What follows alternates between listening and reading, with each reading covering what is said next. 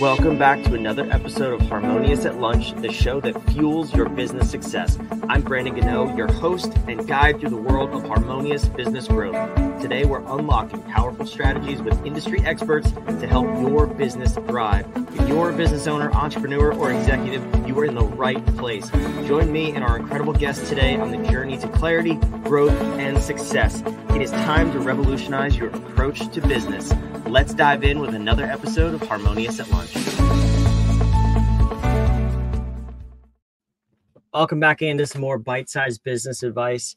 And we are going to 10x your business and life today. I know that's a big goal, right? And I, I was mentioning my guests beforehand, before we got on the show, uh, that title, that topic always terrifies me. And you know this as a listener because I am very anti shiny entrepreneur, celebrity entrepreneur things on this show. So I promise, don't stop listening yet. I promise we are not going in that direction. We're going to talk about actual fundamental principles to grow and scale your business the right the right way. I have an amazing guest with me, Ryan Johnson, and I want to say welcome to the show and thank you for being here, Ryan. Thanks, Brandon. I appreciate it. And yes, I don't like those those shiny uh, clickbait type of topics either. Yeah, I I love a good clickbait title. I'll yeah. just be the first one to say that. And I'm sure if you're a listener of the show, you have picked up on that pattern by this point. But we, we are down to business here. We speak truth, we speak facts, and we want to help people grow their businesses. So tell me, we got three ways to 10x your business and your life. That is a big claim. What what do you mean by that sort of a claim? Let's start there. Sure. Sure, absolutely. Well, so um initially my my three ways, I'll just put that out there first. It, you have to maximize your people. You got you have to have great processes and you have to execute those processes. So it's not rocket science. But if you do put those things in place, you are going to 10x, not just 2x your your processes. I love that book. Um, 10x is better than 2x.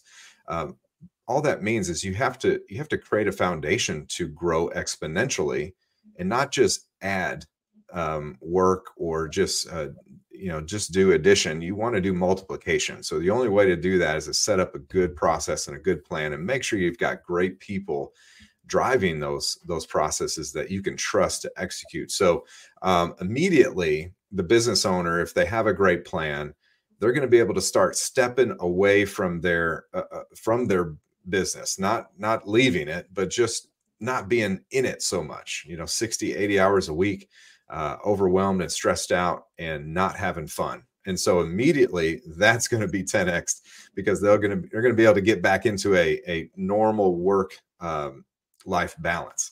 And then from there, it's up to the business. How well are they going to execute? But they have the potential to 10x their revenue um, instead of just limp along and just add business here and there yeah that's that's the type of person that i find is always the most rewarding to work with because first of all it's the most common story in business ownership and entrepreneurship that you're just overworking uh, overworked and underpaid as a lot of people like to say.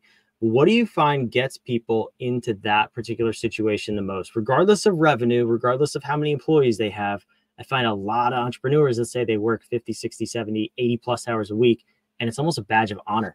H- how do we get there yeah, well, I think it's it's the same in a in a job or their business. But a lot of a lot of people leave their jobs to start their own business for the sake of freedom. I want freedom. But what they really do is they lock themselves in a in a cage uh, because they don't have systems and processes to to run the business when they're not working on it and and so that's um that's that's scary and and so we want i want to be able to help them realize that okay th- i came to do this business so i have more time freedom um, but um, at, but at the same time i'm not really sure how to do that. And so yes uh, i see that in both sides of of you know on as an employee as a w2 or a 1099 starting their own business um, every every worker seems to think my hours equate to productivity or my hours equate to my value of how much i'm going to get paid and that is just a that is just a um, that's that's not a 10x mentality at all um, because you have to work smarter not harder And if you put things, systems and processes in place, they're going to work without you. And um, just because you're not actually doing the work all the time doesn't mean your value is any less. So I, I do see that.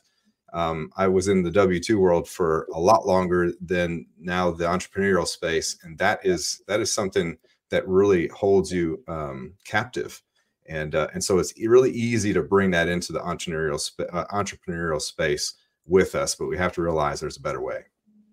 Yeah, it's that mindset of uh, you know being being busy equates to being productive um, or y- you know how to do it so you just do it instead of mm.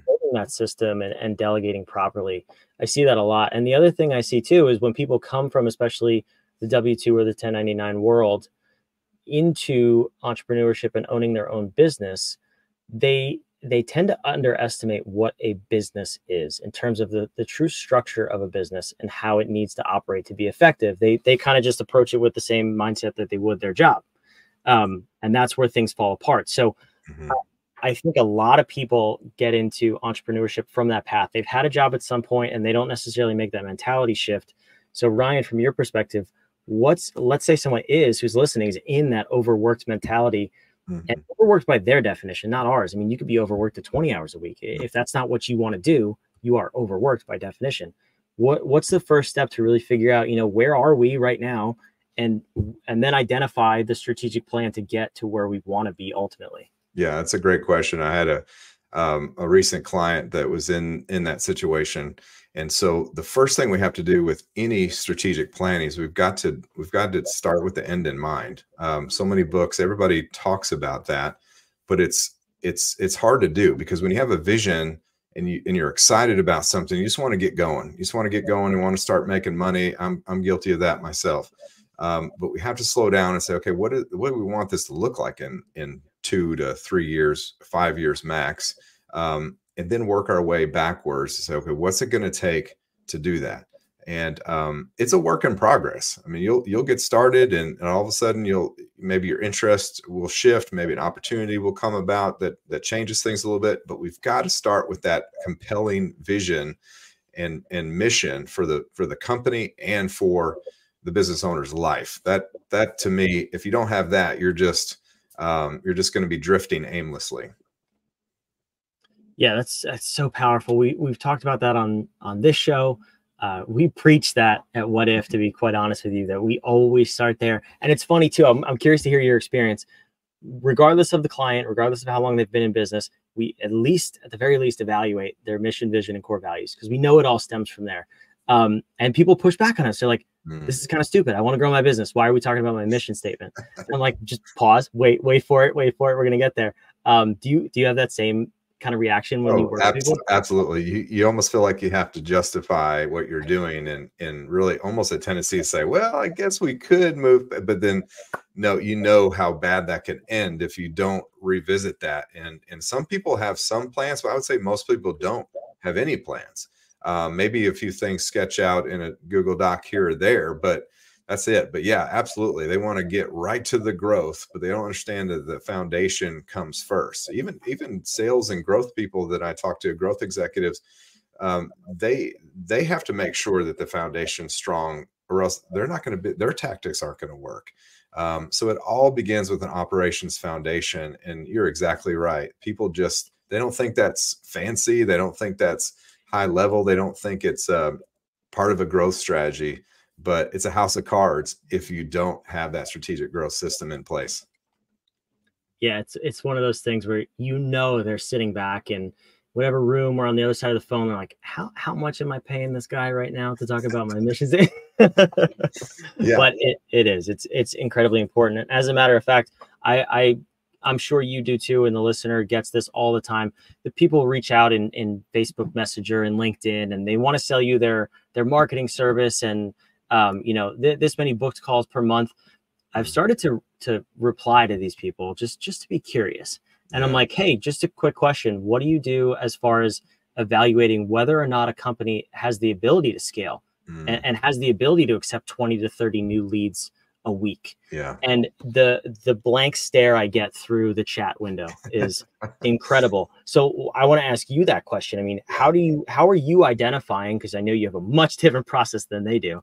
Yeah. Whether or not a company is truly able to scale and and what is the current foundation that we're building on? Yeah, that's a great question. That's and and you're exactly right. Yeah, you can't if you don't have good systems and processes, it doesn't matter how good a lead generation system is going to work. You're not going to be able to close deals. So, um, yeah, so that that's a great point. For for me, um, uh, the the first thing we have to do is really make sure that um, that like like we said, the the processes are in place there. When I'm talking to a client, um, I want to make sure they're all in on on the mission and the vision. I want to make sure they're all in on those those preliminary stages. Do you understand that you need your people uh, to really uh, be at top notch to execute this strategy? If they're if they're not wanting to to talk about mission and vision, or not want to talk about training and developing their people and coaching their people,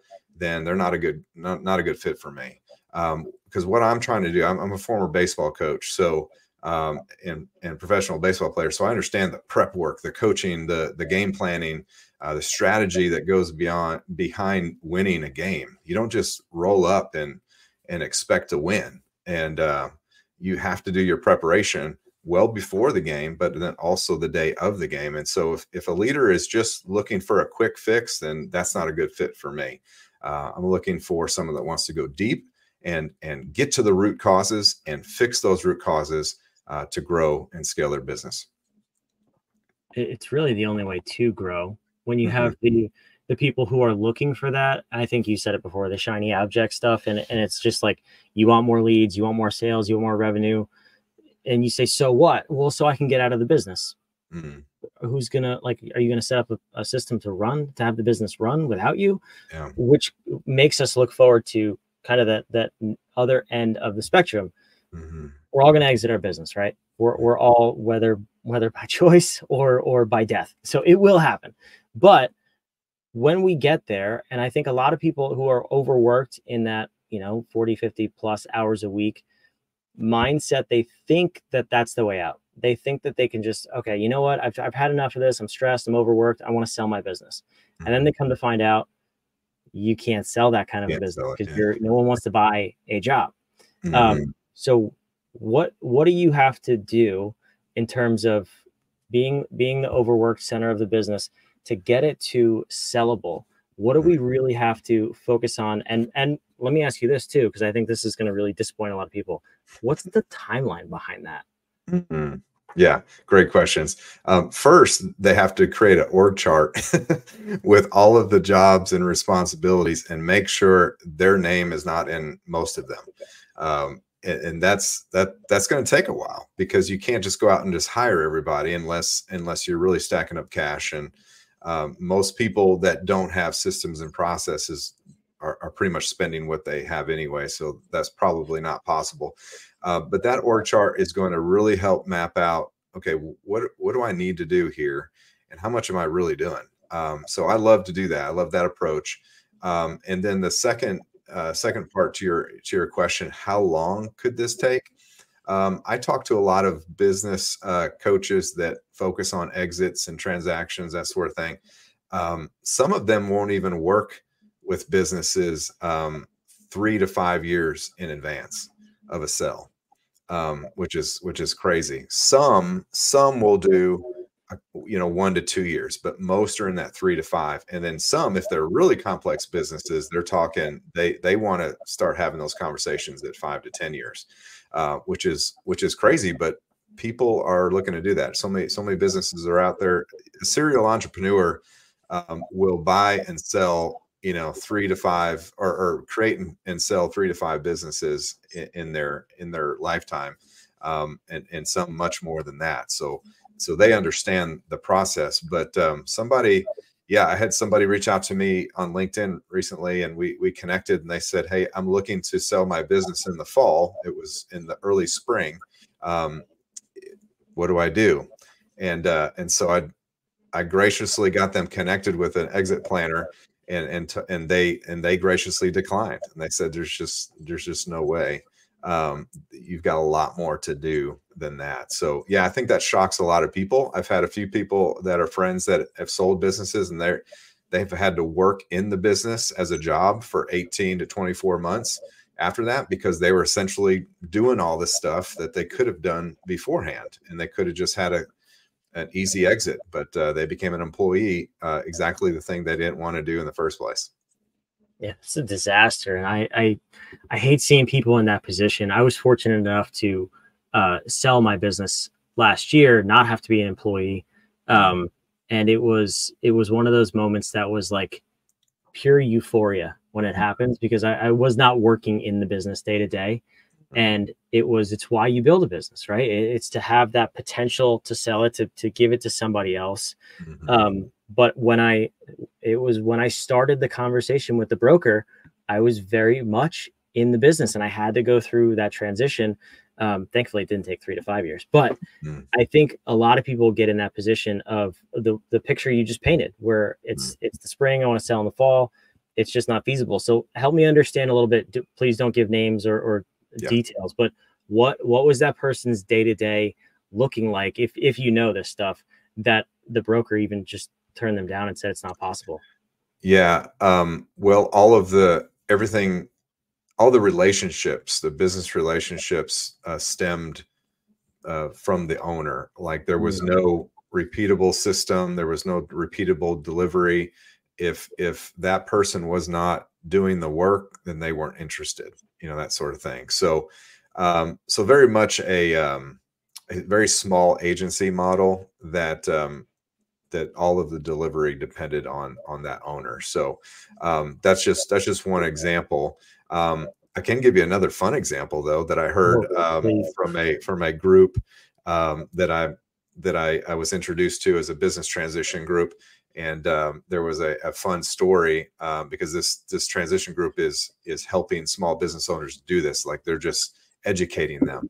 And uh, there was a business a family owned business um, and and the father was the owner obviously and and the son was the ceo um, and the communication wasn't real great because the the father just solicited uh, private equity firms to sell the sell the business without discussing this with his son the ceo and so he came, the son came in and real and walked into a conversation in the boardroom about selling. He's like, Hey son, uh, have a seat. We're going to sell to these guys uh, for, for this amount of money. I think it was $8 million. Um, and, and, he expected him to be happy about it. He says, no, well, you can find um, a new CEO because I'm, I'm not into this. We're not ready to do this. And, uh, and he's like, whoa, whoa, okay. So they have a private conversation. He says, well, I'll sell to you for $8 million. He said, okay, great. Give me, you know, six months, pull, pull together the funding. He does that. And then within uh, a year, I think it was 18 months, he sold that business uh, for like $35 million um, to the highest broker because obviously this is a, this is not a normal situation, but none of the, there was so much more to do to make sure the business operated with without them to really have a, a, a private equity firm come in and say, wow, this is, this is a plug and play situation. We see exactly how much we're going to make in the next couple of years. This is a this is a no brainer. Um, so that's just the power of having a packaged business that you can pass off to somebody. Um, they don't have to do anything; they just step in, um, and and it just keeps running. That's incredible. I mean, that's that's exactly what we all should be wanting to build, right? Mm-hmm. But for some reason, whether it's you know lack of lack of foresight or maybe lack of time and effort to mm-hmm. put into building that type of a business and a structure i just see too many people getting stuck and that's why i love having these conversations because hopefully it opens someone's eyes to say like you know what i don't want to be doing this forever uh, or i don't want to be in this role forever and i'd love to find a way out so um, Ryan, I know you have. We could we could talk for hours on this stuff. I know you have a uh, a way for people to take that first step and get out. I put your website on the screen here, hmm. um, but tell tell the listener who is in that position. What do you have at this uh, at this site to go download? Absolutely, yeah. I love I love giving um, people a framework to step through to see if if something works for them. So at this website, three sparrowses.com slash framework uh, you can download three three steps to scale your business to 10 million. Um, that is uh, essentially the first level of sustainability in a business and um, no email required. It's just a short explanation uh, of each of the three P's that I talked about people, processes, and productivity, and then a short assessment, five questions per uh, each of those P's. And uh, this will, will this will let them know where they are. Uh, is the business functioning properly and efficiently, or do they need help uh, getting up to that next next level? And if they do, they can uh, schedule a free strategy session with me from there. So I hope this will really add a lot of value to your audience. I love it. I appreciate that. Thank you. And it's wherever you're watching or if you're listening, you don't see it on the screen. It's it's down below in the show notes, um, so you can go click over there and check it out. Um, Ryan, I appreciate that offer, and I also want to say, um, you know, I, I love connecting with people with where they're at. I find a lot of people are in this position. I'm sure you do too. We, you've told stories about how people are in this very position. But I want to end the episode with a question. I personally believe that powerful questions get powerful answers. Mm-hmm. And I want to know for the listener, what is that question that they should be asking themselves if they do find themselves in that position of working too much or not being able to sell their business, not being able to get out of the operations of their business? Mm-hmm. What should they be asking themselves until they get that powerful answer? Yeah, that's a that's a great question. I, I love that. Um, I think they have to they have to ask themselves what what do I want out of out of my life? Um, do I want to continue to be a slave to my to my business, or do I want to um, do I want to maximize it for for um, my family? You know, um, do I want to maximize it for uh, a legacy that I want to leave? Um, so again, be, begin with the end in mind. What do I want out of this business, and what am I willing to do uh, to get there? But then also, um, well, a follow up question would be um, what's the risk if I don't? What's going to happen if I continue doing this? And, and in my, my opinion, it's going to be burnout and, uh, and a lot of uh, lost relationships along the way. So, um, yeah, what what do they want to accomplish in their life, and how can they get there? Yeah, those are those are definitely powerful questions, and I've seen I've seen the burnout and the business failures. Um, so yeah, definitely, definitely think of those, th- think about those questions and come up with honest answers for yourself. Ryan, thank you so much for being here. My pleasure, Brandon. I appreciate you very much. For those of you watching and listening, wherever you are, make sure you subscribe, give us a rating. It helps us connect with more people just like you. And we'll see you tomorrow on the next episode of Harmonious at Lunch. Thanks for being here.